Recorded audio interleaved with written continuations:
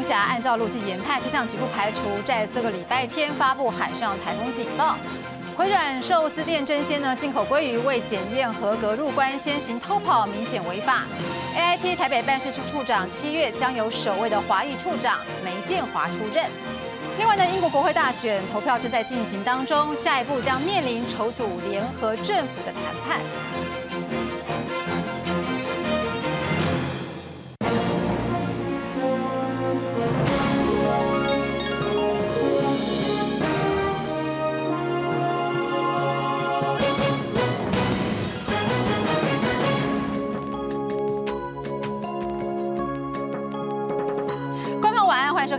五月七号的公视晚间新闻。位在菲律宾西方海面的中度台风“红霞”，在这个周六跟周日接近吕宋岛之后，可能就会大转弯了。气象局不排除在这个礼拜天发布海上台风警报，而下个礼拜一、礼拜二，红霞台风最距离台湾是最近的，暴风圈可能会擦过东南部的陆地。红霞不断增强，周三已经成为中度台风。气象局预测，红霞在周六或周日接近吕宋岛之后，就会大转弯，改朝东北方，也就是台湾的东部海面前进。气象局不排除在周日母亲节发布海上台风警报。因为它大概在十一号到十二号左右就有机会很靠近台湾的海面，所以呃，如果快一点的话，也不排除礼拜天其实就有发布海上台风警报的可能。目前除了台湾，美国也是预测红霞将会穿过吕宋岛北转，角度更接近台湾。日本预测则偏向东部外海。气象局表示，红霞北转的时间及角度都会影响到它的路径，很可能暴风圈将擦过台湾东南部的陆地。虽然发布路上。警报的机会不大，但还是会为东部及南部带来降雨。我们的南端陆地跟东半部陆地哈，会受到它的外围云系或者是环流的影响，啊，下雨的几率会偏高，甚至不排除会有一些局部比较大的雨势。水情方面，高平溪蓝河堰的河川流量七号下午已经达到每秒十三点六立方公尺，比警戒值高出许多。经济部透露，周五的抗旱会议很可能就可以解除高雄的第三阶段限水措施。至于石门水库供水区的状况，就得看红霞台风带来多少雨量了。记者林正武、邱福才台北报道。食品安全事件又一桩，连锁回转寿司店真鲜在上个月底呢进口了一批鲑鱼，总共是三千多公斤。不过呢，因为是生鲜食品，容易腐败，需要先冷藏，所以业者申请将还没有通过检验的产品先放在海关冰柜，等到检验合格之后才可以入关。不过呢，桃园卫生局却发现业者呢竟然在还没有取得输入许可之前就先行偷跑分切加工，明显违法。掀开保利龙保温箱，里头装满了大西洋鲑鱼和多瑙河鲑鱼，超过一百三十五箱，重达三千零二十三公斤。原本是连锁回转寿司店争先准备好的上等鱼货，现在全遭桃园市卫生局扣留。在未取得食药署边境检验报告之前，就先进行分切加工，这违反了先行放行的相关规定。其实真鲜在四月二十八号进口这批鲑鱼后，四月三十号就向食药署申请拒绝先行放行。隔天五月一号，桃园市卫生局前往稽查，出验合格，只差取得食品输入许可证明。只是过程需要花上五天，但真鲜却在五月二号就擅自拆封分切加工，已违反食品卫生管理法。那在产品未取得输入许可之前，是不得移动、启用跟贩卖。被查获有违反，会依同法第五十一条没收所。缴交之保证金，并且在一年之内暂停受理这个食品业者他的拒绝保管的申请。食药署强调，业者进口生鲜食品申请拒绝先行放行，目前只能进行冷藏保存，不能拆封加工，更不能贩售。如果真鲜不止偷跑，还偷卖，将依法再处以贩售价格一到二十倍的罚款。记者综合报道。先前的三点一克直火乌龙玫瑰茶被验出含有农药 DDT 之后呢，高雄市卫生局将这一款商品的所有原料采样送验，结果证实呢，玫瑰花瓣的确含有四种农药。不过目前已经有五千多公斤的玫瑰花瓣不知去向。高雄市卫生局昨天晚上公布最新检验结果，证实三点一克直火乌龙玫瑰茶中的玫瑰花瓣的确含有 DDT、布菲松、半玉松和三洛松等四种农药，其中 DDT 残留问题最严重，因为 DDT 是禁用农药，却被验出有零点三零二 ppm 的残留。确实在这个玫瑰花瓣里面检出含有零点三 ppm 的 DDT 这个禁用农药，那另外也同时检出还有多种的其他的农药的残留。三点一克的上游厂商，除了台南的永生堂、高雄的和荣公司和盛吉行也有供货。卫生单位和检警发现，盛吉行负责人黄姓女子在去年从印度进口五千五百公斤的玫瑰花瓣，以香料用玫瑰报关进口，规避食品查验程序，再以和荣公司的名义把玫瑰花瓣卖给三点一克做成茶饮。另外，高雄市主要干货集散地三凤中街也有九家中药商或干货店贩卖和荣出货的玫瑰花瓣。你如果说散客来，我们有口头上跟他们讲，这也是不得使用这样子。对你们的冲击来讲，影响比较大的是什么？你你不觉得现在食问问题太严重了吗？和荣公司已经将玫瑰花瓣销售给三十九家业者，并声称出货单都有注明不得食用。而干货业者也清楚是非食用等级，只是现在还有五千公斤玫瑰花瓣不知去向，而消费者买回家后的用途也无从追踪。记者李慧仪、陈显坤高雄报道。今天早上十点多左右呢，一名王姓男子突然闯进了高雄市政府的市长室，说要见市长陈菊陈情。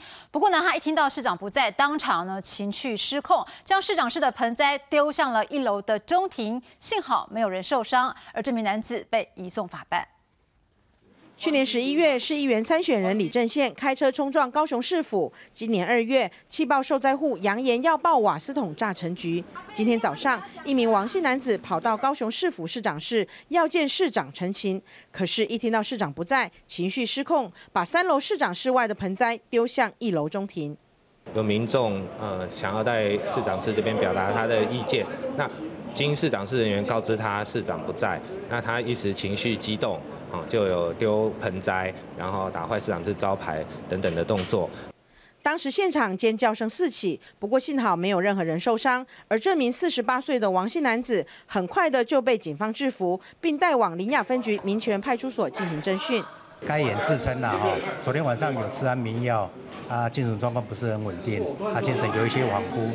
我们了解原因，诶，答回所问。那我们目前依公共危险及毁损罪跟他一线询问保办。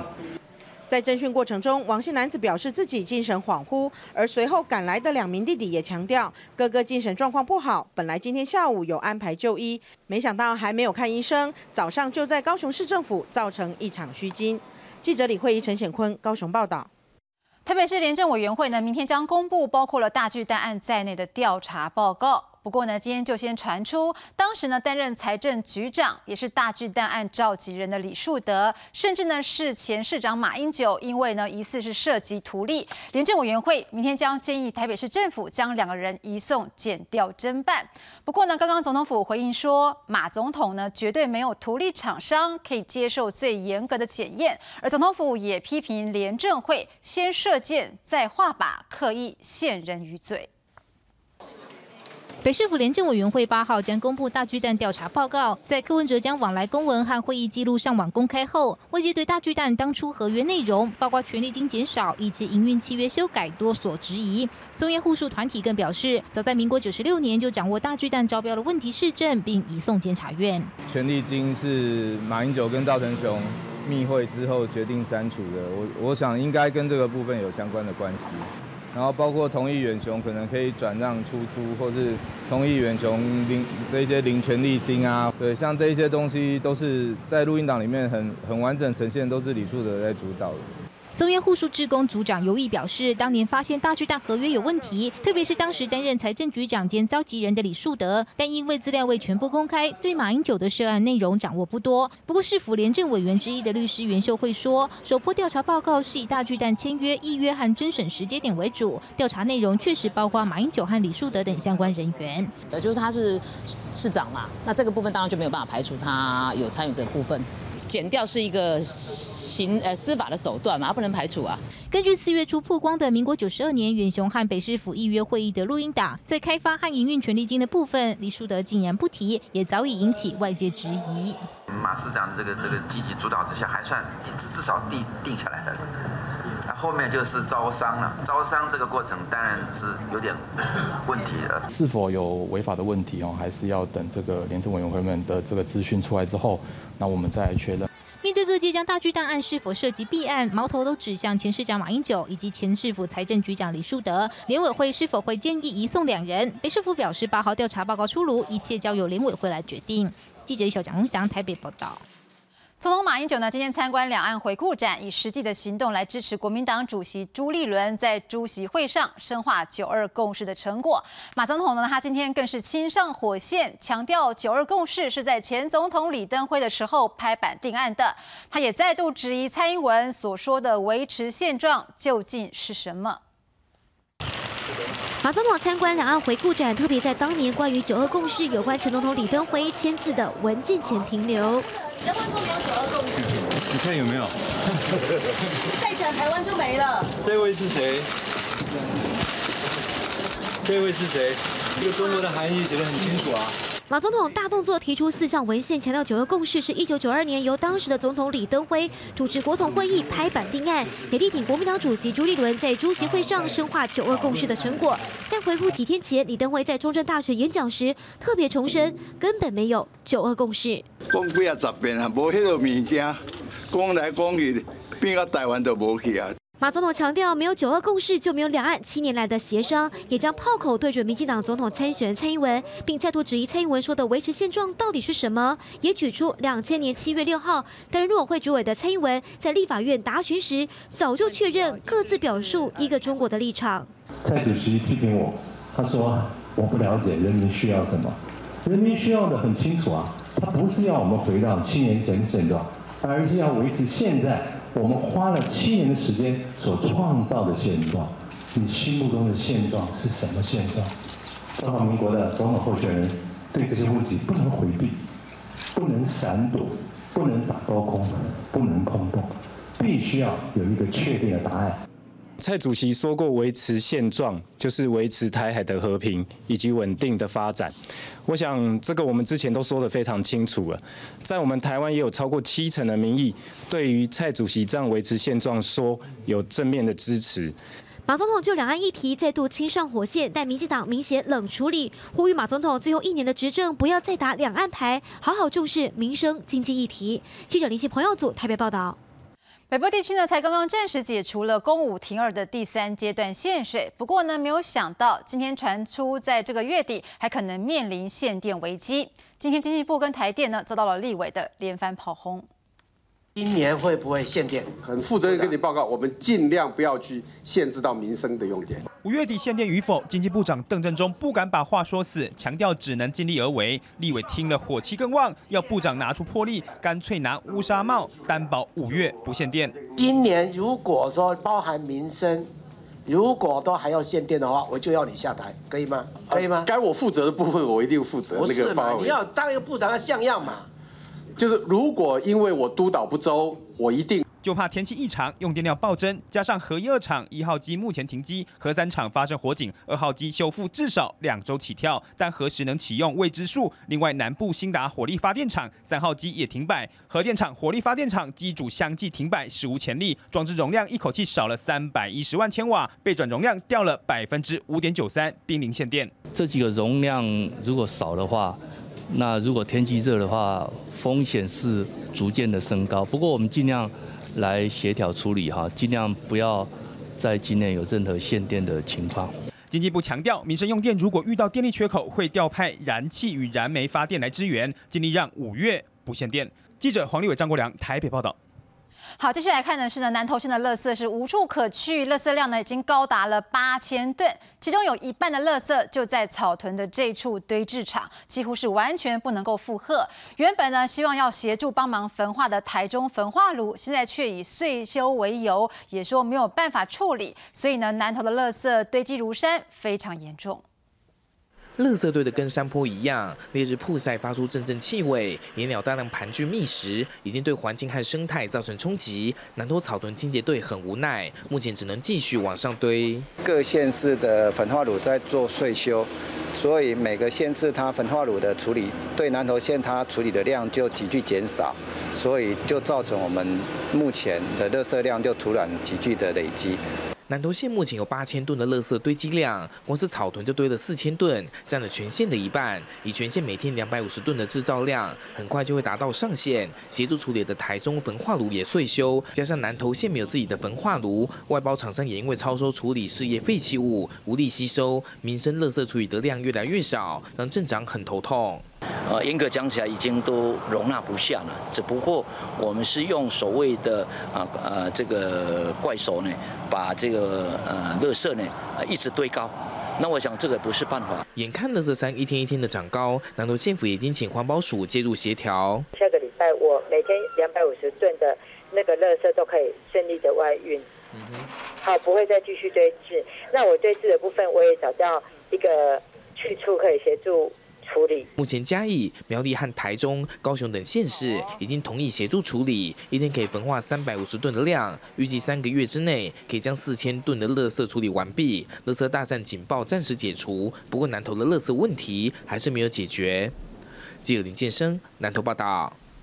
婴幼儿呢非常容易感染的轮状病毒，目前全球出现了变异。台湾目前已经有五起的病例，他们的共同症状就是发高烧，还有天天腹泻，必须要住院治疗。医师呢今天提醒家长，轮状病毒呢就连胃酸都杀不死，用酒精消毒也没有用，最好的方式就是打疫苗。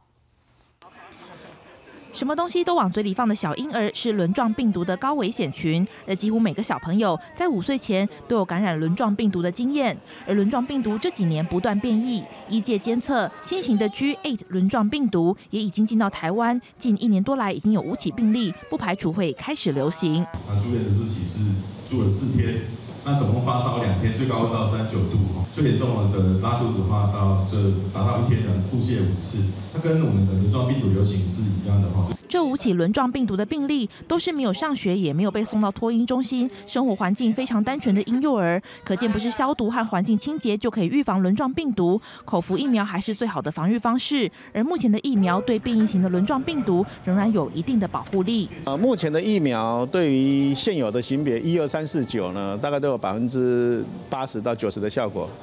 对于这个新的 G 八呢，可能是百分之五十到七十的效果，会稍微差一点。不过五十到七十已经不错了。医师表示，轮状病毒具有高度传染性，如果没有疫苗保护，一旦感染，恐怕会呕吐、腹泻，严重到脱水，有生命危机。建议新生儿满六周后就可以口服轮状病毒疫苗。记者薛佳琪奇文台报道。好，插播一则最新的消息呢，又发生了我国渔船遭到了菲律宾扣押的事件。屏东琉球级渔船呢，深丰十二号今天清晨通过了菲律宾海域的时候，遭到了菲国船艇强行登船，随即遭到了查扣。好，从画面上我们可以看到呢，这一艘呢就是被菲律宾扣押的屏东琉球级渔船“深丰十二号”。渔会表示呢，我国渔船在通过菲律宾海域的时候，被菲国强行登船扣押，人跟船被押到了巴丹岛。船上有两名的台籍跟四名的印尼籍的船员，目前被留置在船上，已经紧急请求外交部协助交涉来进行营救。这是我们刚刚收到的最新消息。好，我们继续要来看的是呢，美国在台协会呢台北办事处的处长，从七月份开始，将由国务院前亚太副助理国务卿梅建华出任。而梅建华呢，不仅是美国官方亚太政策的核心人物，也是第一位华裔的 AIT 处长。美国在台协会 AIT 正式宣布，曾任国务院亚太事务副助理国务卿的梅建华，将在七月出任 AIT 台北办事处处长。梅建华也将是首位华裔身份的 AIT 处长。外交部对于梅建华即将就任也表示欢迎。中华民国政府表示欢迎，也深信梅建华能够在马启斯处长奠定下的基础，能够进一步扩大跟深化台美的双边关系。梅建华虽然并未像前几任 AIT 处长司徒文或杨书弟担任过驻外馆大使，不过国际关系学者认为，梅建华的亚太驻青身份是最熟悉华府两岸政策的美国官员，而且在台湾总统大选前，美方指派梅建华，主要目的是要让下一任总统当选者清楚了解美方的两岸政策，尤其是现在民进党主席蔡英文，外界认为胜算几率偏高，也要避免蔡英文所提的两岸政策影响美国亚太利益，才会有这一次预防性的人事安排。如果在二零一六年发生了政权轮替，或者在这个竞选期间有一些这种时候啊两岸关系的这种说法，不希望这样的一些说法或者未来的一些政策会影响到美国的国家利益啊，特别是美国跟中国的一些之间的一些伙伴的关系。梅建华在美国外交领域资历二十年，除了华府地区职务，也曾派驻北京大使馆、首尔大使馆等等，外交资历深厚，也是美国亚太政策的核心人物。严哲生认为，梅建华比起前几任 AIT 处长层级更高。此时由梅建华驻台，显见美国对两岸关系未来的走向高度重视。记者小蒋龙祥台北报道。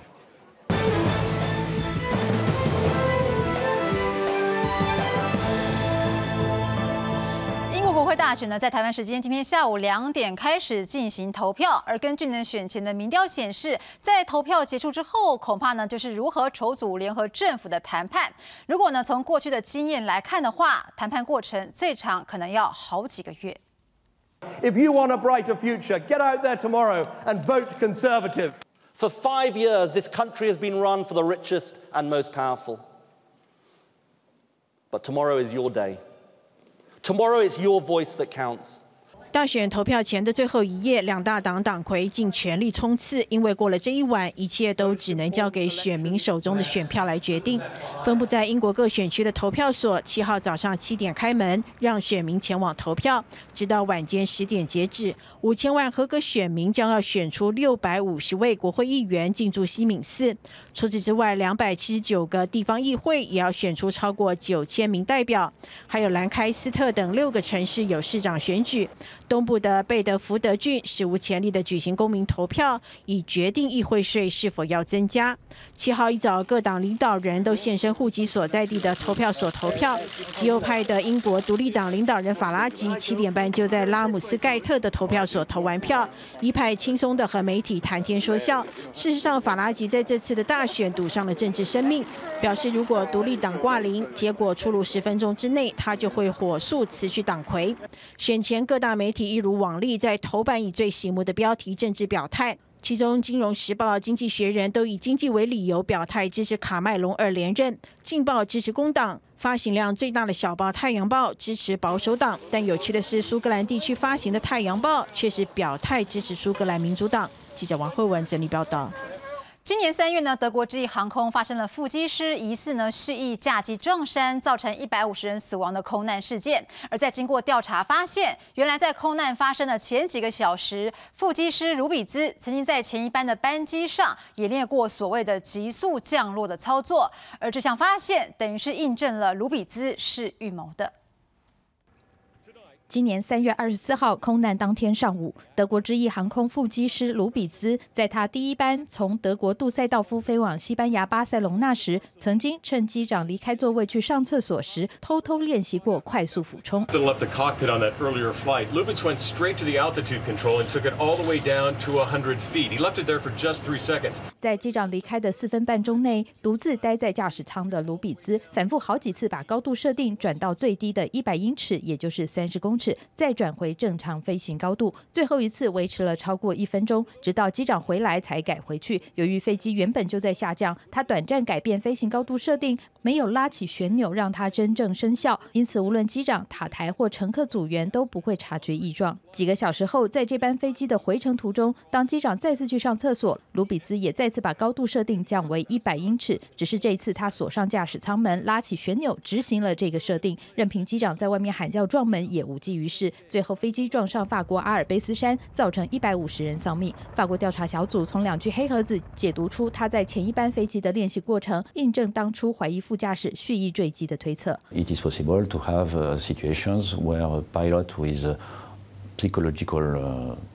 Troubles or deficiencies uh, is on board an aircraft with passenger with the intent of destroying the aircraft and its occupants. 这个调查进展也再次凸显驾驶舱内不该有落单的情况发生。而德国警方的调查显示，卢比斯患有严重忧郁症，并是从2009年就开始，最后一次飞行前还在网络上搜索过自杀的方法。记者施慧荣报道。尼泊尔强震发生到现在已经快满两个礼拜了。目前呢，官方公布的累计死亡人数超过了七千七百人，而受伤的也有一万七千多人。这里是尼泊尔首都加德满都附近的小村庄。当卡车开进狭窄的街道，村民响起热烈的掌声，还有人代表献上哈达表示感激。来自葡萄牙的奎洛斯和桑多士原本要来尼泊尔观光，但是抵达后第二天就遇上八十一年来最大的地震。当时想回国也排不到机位，于是干脆留下来当义工协助救灾。We were going to have fun and continue our traveling, but we couldn't turn our backs to the people because we could do something for them. We had the money, we had the two arms, one brain. And we we we chose we choose to. We I'm proud of Lorenzo. He's the man. 原本两人只是靠一己之力，但眼看需要救助的村民这么多，于是他们在脸书号召远在半个地球外的葡萄牙同胞，结果反应出乎意料的热烈，甚至引起葡萄牙媒体注意，让更多人踊跃捐书支持两人的义举。除了物质的支援，幸存灾民的心理创伤如何善后，也不能忽视。加德满都一个提倡瑜伽冥想的民间团体，除了透过官方网站募集义工与捐款，也就近在各地开设瑜伽教室，以冥想课程带给灾民正向的力量。It wants to come back to its own nature, but we do not have the access to control the mind. So meditation and all these techniques as such will help them to come back to their own nature, become more relaxed and come out of this trauma. 虽然许多庙宇和家园都在大地震中被摧毁，但信仰虔诚的尼泊尔人还是相信废墟中仍有神明。他们在倒塌的残骸边放上鲜花，祈求往生者得以安息，而活下来的人也能坚强地面对未来。记者徐佳仁报道：利用网络 APP 订披萨呢，方便又省事。不过呢，很难没有想到呢，竟然可以成为救命的工具。美国佛州呢，有一位母亲遭到了男友的挟持，她趁着用手机上网订披萨的机会，向店家求救，成功救了自己跟三个孩子的性命。美国佛州中部这家披萨店就是周一收到不寻常求救订单的店家。The order comes through and she had edited her ticket. So on the bottom it said hostage help and on the top it said get 911 help. 原来透过订单求救的是二十五岁的年轻妈妈特列德威，她是这家店的常客。当天她和男友吵架，男友持刀夹持了她和三名子女，也没收了她的手机。到了晚餐时间，男友终于同意让她用手机下单订披萨给孩子吃。她灵机一动，在订单上打了求救讯息。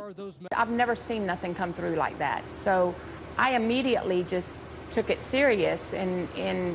We called 911. 披萨店打电话报警后，警方立刻来到案发地点抓人。I don't know if I ever would have thought of it. I mean, it's just something she did so naturally. The boyfriend never knew about it until he saw it coming around the corner. 就这样，通过上网订披萨这个小动作，这名妈妈成功让自己和小孩脱困。在此之前，谁也没想到网络 APP 竟然也能发挥救人的妙用。记者曾慧敏报道。以色列大选呢过后五十天，总理纳坦雅胡终于赶在最后期限完成了阻隔。联合政府呢由五个政党组成，不过联合政府只比过半多了一席，所以未来呢可能处处受到在野党的牵制，政局恐怕不稳。赶在阻隔期限的最后一天，以色列总理纳坦雅胡终于获得右翼政党犹太家园党点头，加入联合政府。在一百二十席的国会取得勉强过半的六十一席，纳坦雅胡也将继续他的第四个任期。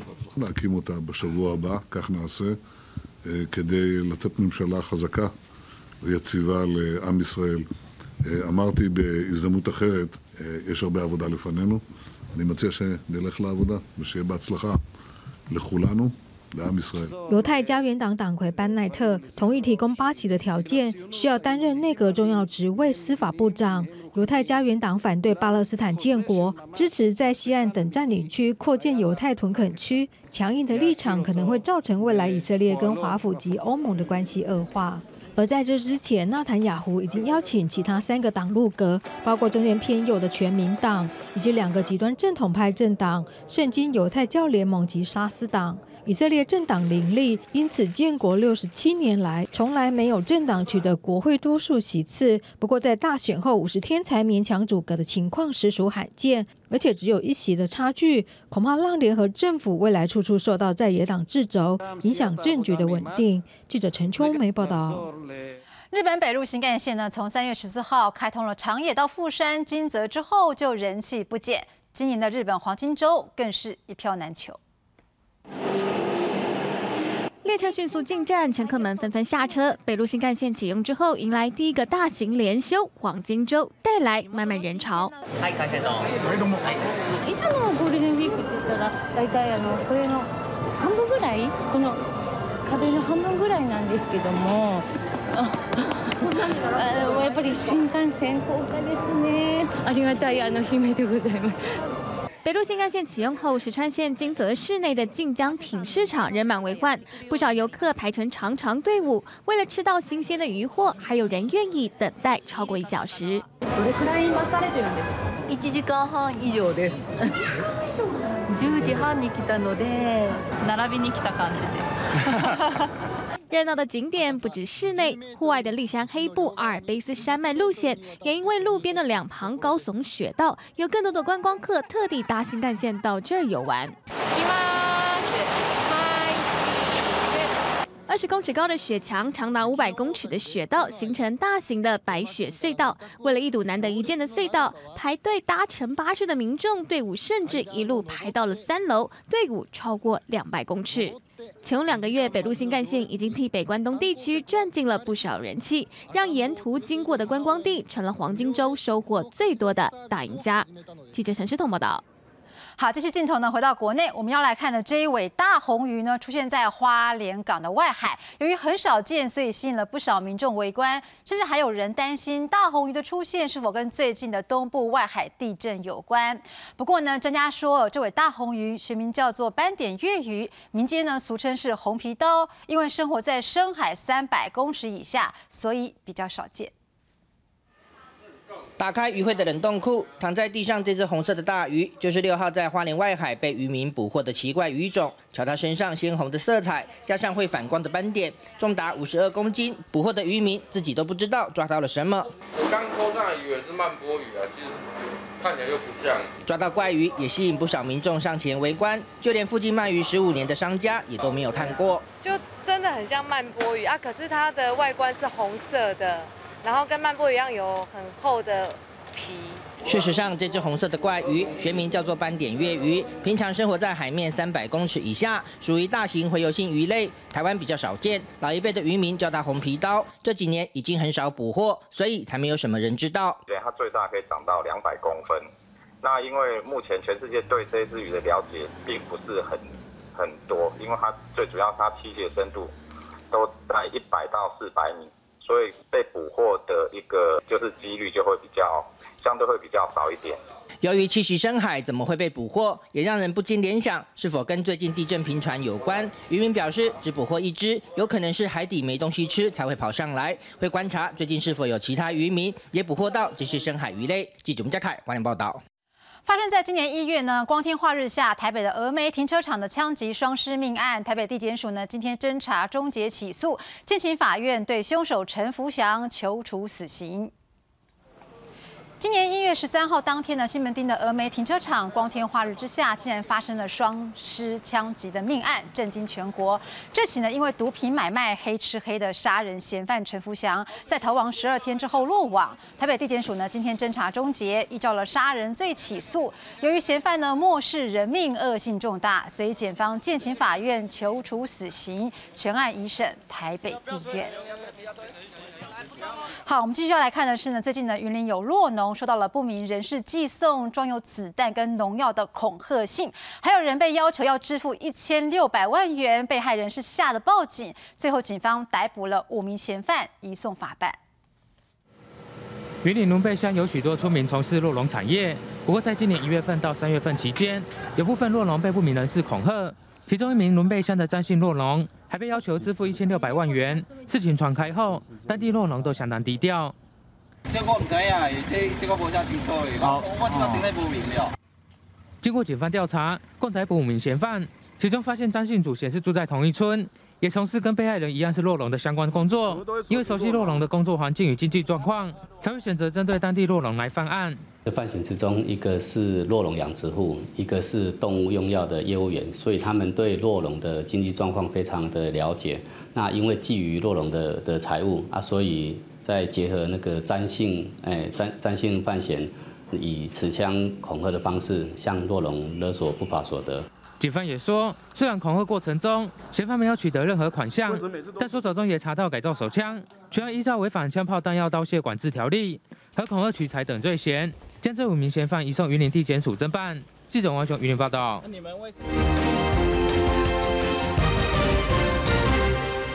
救国团呢长期向台北市政府承租建谈青年活动中心的土地，不过呢，由于年租金过低，遭外界质疑租的太便宜了。台北市公务局呢今天发函救国团，表示呢年底契约届满时将不再续约。但是呢，由于救国团拥有建谈活动中心地上物的产权，所以台北市政府呢现在组成了一个工作小组，将进行谈判。救国团承租位在台北市的建潭青年活动中心，七乘六用地近九千平的土地，是向台北市政府承租，至今四十年。不过因为年租金只有一千六百八十万元，等于每平月租金大约一百五十六元，遭到外界质疑是建租。北市府经过研究，七号确定发函救国团，强调年底契约届满不再续约。好，那这部分是基于公共事业的需要，或者是都市计划，可随时。终止契约，而乙方不得向甲方请求任何的那个赔偿或补偿。北市府一旦顺利收回土地，将由都市发展局接手。初步规划透过适龄再生计划与捷运线路结合，作为公园用地、青年艺文中心等多功能使用，作为北市北区门户的一环。后续未来长期的这个土地使用的发展的方向，还有这个发展的趋势，那我们会做个整合。由于救国团拥有建潭活动中心地上物的产权，北市府片面宣布收回土地，势必引发两方的争端。本团跟市政府之间应该还有很多啊沟通协商的机会。那本团也希望，为了整体公共利益的最大的价值啊，希望能寻求未来与市政府啊继续合作的机会。在反共复国政策之下，成立超过一甲子的救国团，肩负着管理青年思想的任务。随着时代的变化，转变为替青年举办休闲旅游服务的社团法人。如今市府拍板定案，要收回土地，也将成立工作小组进行后续谈判。记者陈嘉欣、张子佳台北报道。另外呢，高中微调课纲将在八月开始上路，而面对争议不断，今天有家长团体到教育部抗议，他们痛批呢微调课纲的程序大有问题，认为呢在司法上一审已经被判决违法，教育部却还是要实施，甚至以课纲绑大考，让他们无法接受。反对考试反违反课纲。家长团体来到教育部前，要求停止实施微调课纲，因为他们质疑去年教育部通过微调国文和社会领域的高中课纲过程有大问题，资讯也不够透明，在司法一审已经被判决违法，但教育部还坚决执行。法律的诉讼程序完成了之后，应该要重新呃邀集这些专业的学者以及老师们啊来。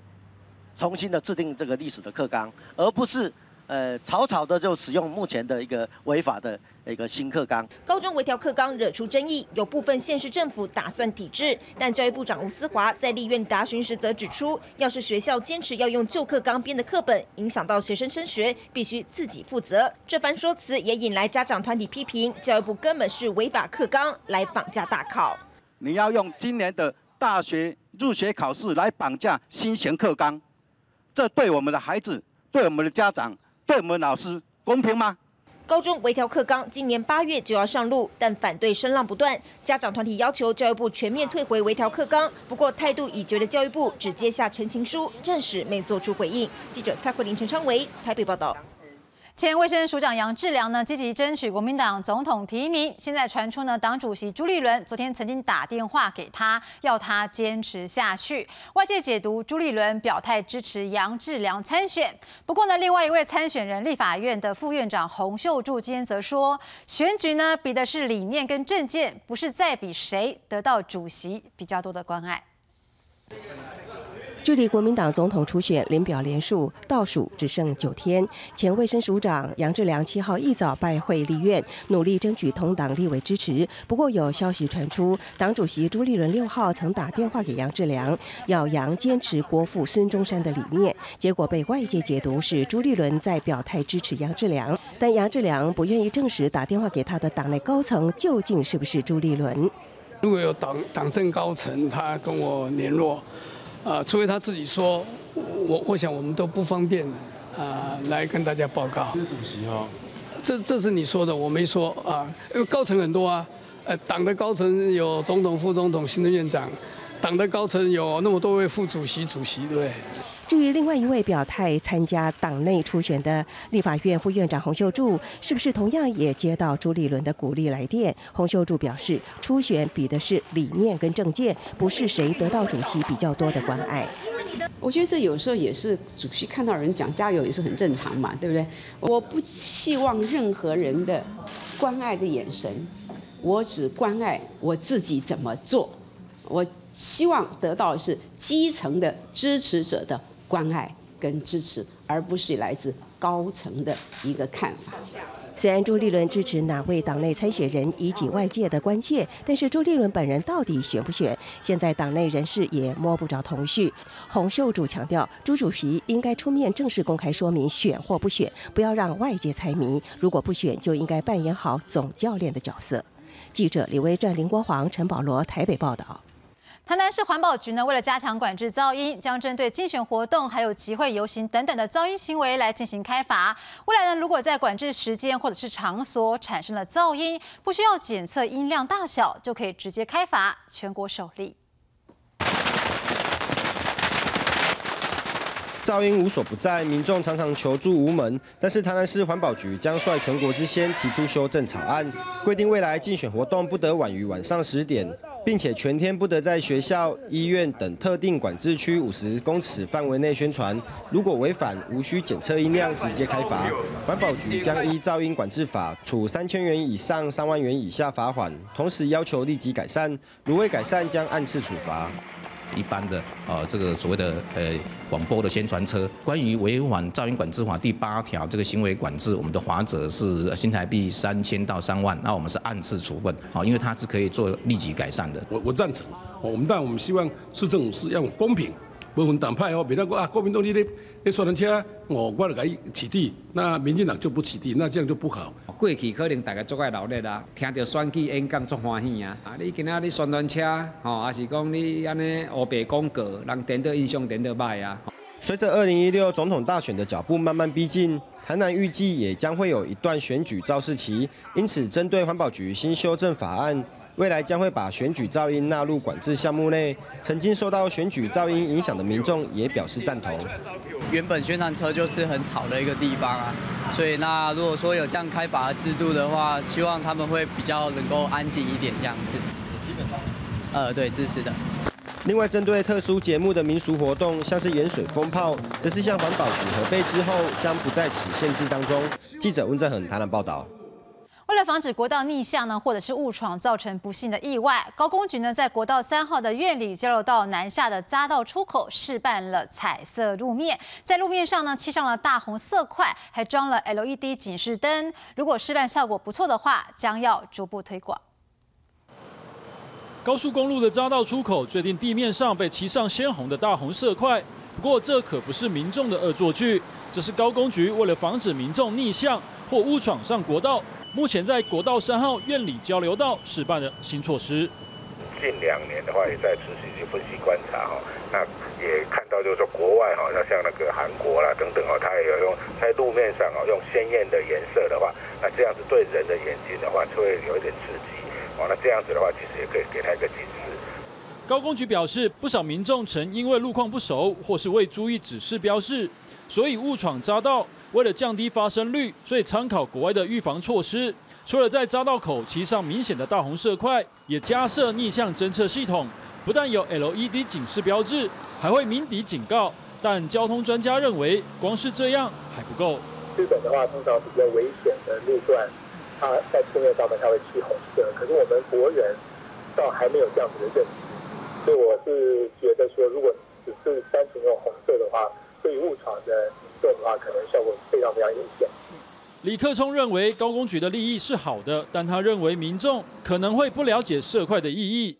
而警告声响，民众也可能听不到。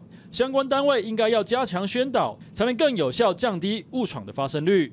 记者邱志培、赖思杰苗栗报道。劳动部呢公布指导原则，明定媒体、业务还有驾驶等等的外勤工时计算，不再只是以签到簿或者是出勤卡为限。现在呢，像是通讯软体、行车记录器，甚至是电话记录，都可以来证明自己外勤的工作时间。游览车驾驶全台跑透透，下班时间常常不固定。记者整天在外面采访，上班跟加班时间认定也常有争议。劳动部发布《劳工在事业场所外工作时间指导原则》，提供事业单位就新闻媒体工作者、电传劳动，像是图稿设计、外勤业务员跟汽车驾驶等，不用非得用签到簿或出勤卡记录加班，通讯软体、行车记录器、电话跟交稿时间等记录也可以证明。约有五十五万劳工可。渴望受惠，不过就有驾驶认为政策看得到，但加班费很难拿得到。怎么证明啊？拿不到了，你怎么拿了？拿不到，绝对拿不到。看得到，拿不到。看旅行社怎么做了。旅行社假如说 OK 的话，都有加班费啊。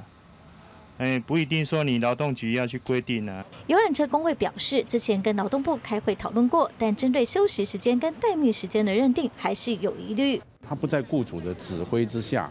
他可以自由使用，他可以去睡觉，他也可以去这个买菜啊，他也可以去 shopping 啊，所以这算是他自己的时间，他要去怎么做使用都可以的，这个当然就算作休息时间。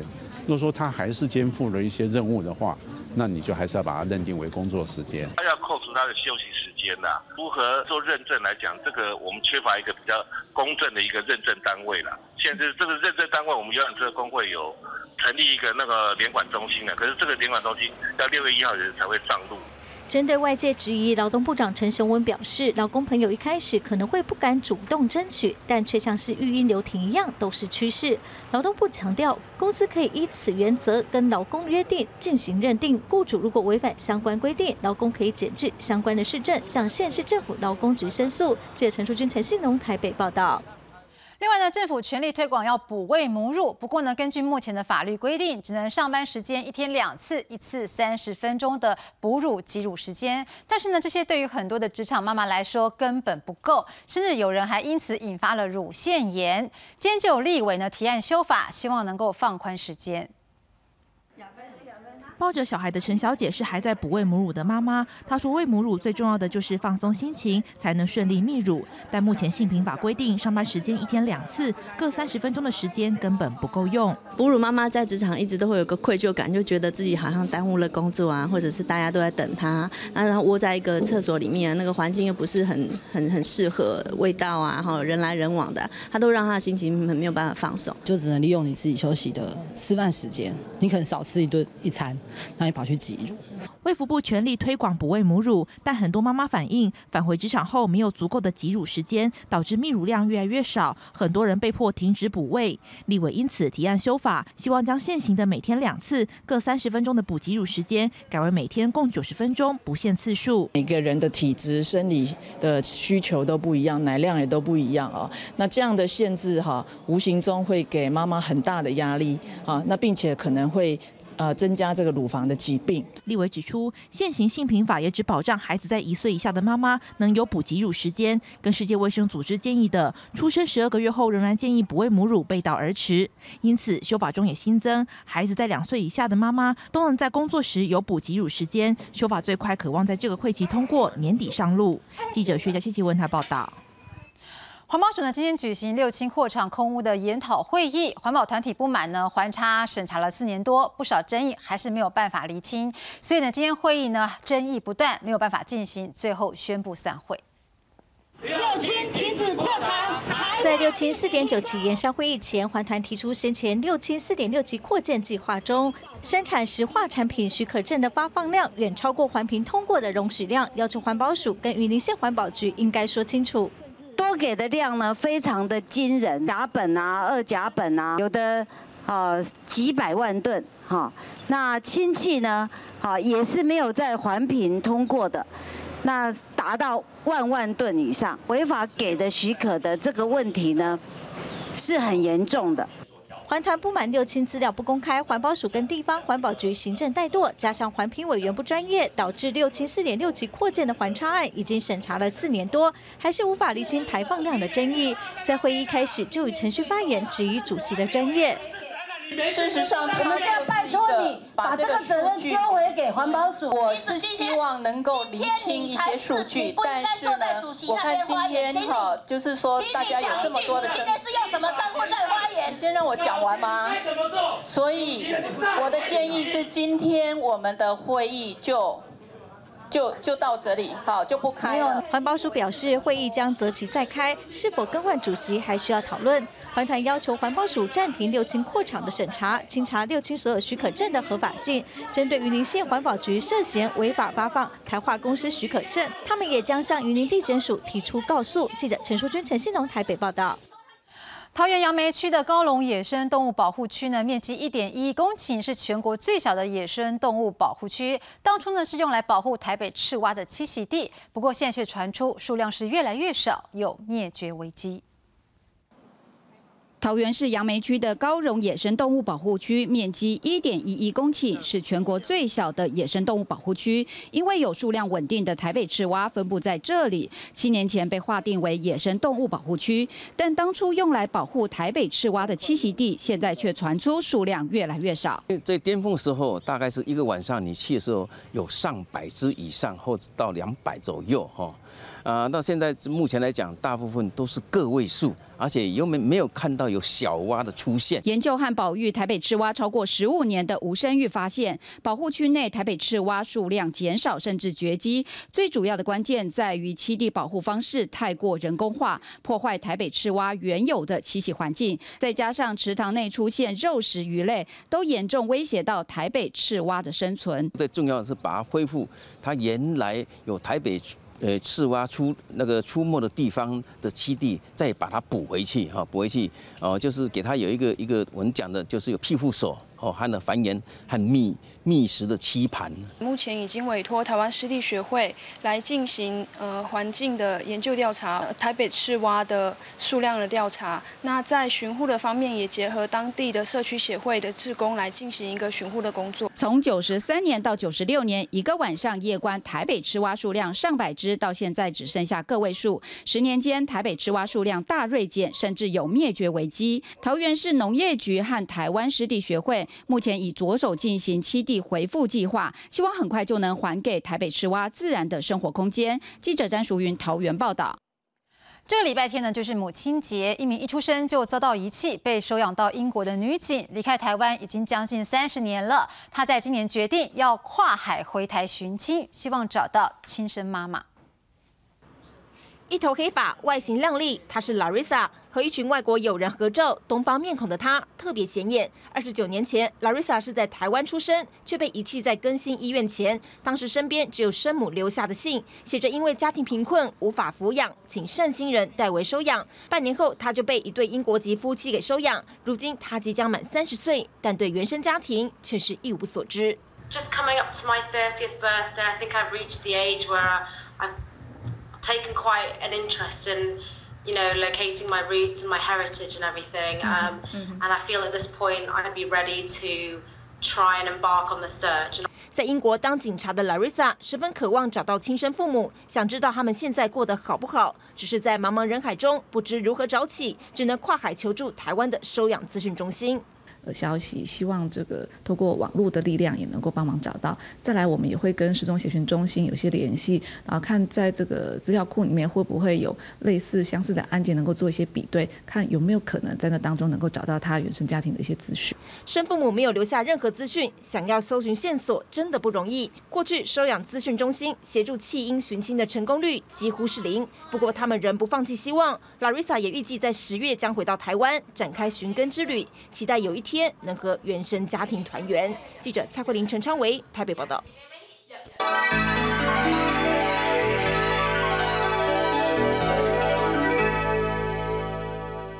各位观众朋友，晚安。今天受到封面影响，但是这波封面的结构是比较差的啊，所以呢，在降雨方面普遍不明显，只有在中部以北的地区跟东半部地区有一些零星的降雨。气温上的话，因为降雨普遍不明显。所以各地的高温都在三十度上下，感受上是比较闷热的。明天的天气从地面天气图来看，我们还是受到这个封面影响，所以明天的天气还是普遍不稳定，而且各地都有一些短暂阵雨的机会，尤其在中午之后呢，降雨情况会比较明显，尤其在山区，所以要去山区的朋友要特别注意这个情形。气温上的话，明天高温在整个西半部还是有三十一到三十三度。东半部有二九到三十度，所以没下雨的时候，感受上是很闷热的。至于在台风消息部分，我们来看一下地面天气图的显示。编号第六号的中度台风红霞，目前距离台湾还有一千七百七十多公里远。未来一个方向还是朝西北西往菲律宾群岛移动。我们预计这个台风在礼拜天左右呢，会有北转的一个情况。因此呢，如果这个路径不变的话呢，啊，我们在礼拜天的时候呢，将会发布海上台风警报，提醒民众要注意这样的几个情形。而这个台风的一个动态，气象局也会持续留意。以上资料由中央气象局提供。好，接下来看明天各地的详细气温。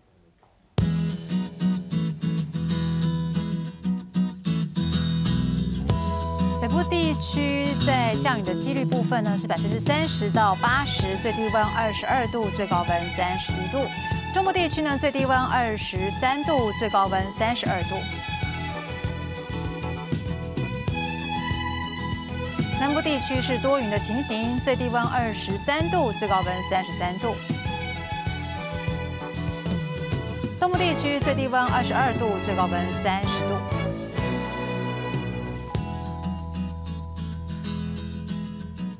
波岛地区在金门、马祖是会下雨的情形，最低温十九度，最高温二十九度。以上就是公视晚间新闻，感谢您今晚的收看，我是洪慧竹，祝您晚安，我们明天见。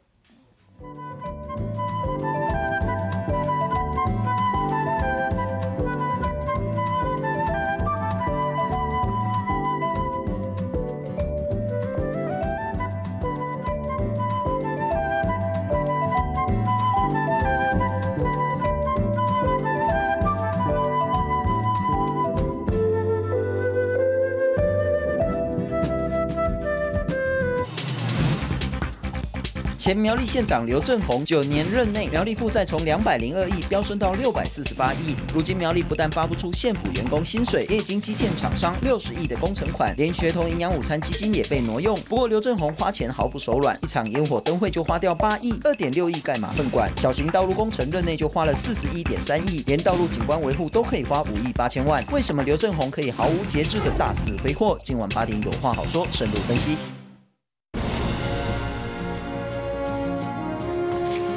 十点全记录，永恒的生命脉动，大自然动物亲子之间的养育之恩，教导与学习生存技能的传承，与生俱来的养育本能，造就许多动人的生态故事。五月七日周四晚间十点全记录，永恒的生命脉动，就在公共电视。冲锋陷阵，热血沸腾；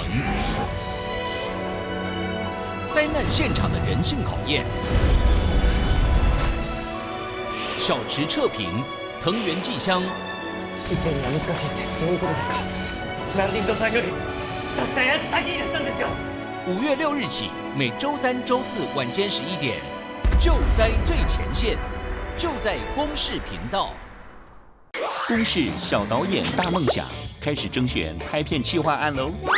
只要企划案获选，公视将提供专业的影像培训辅导。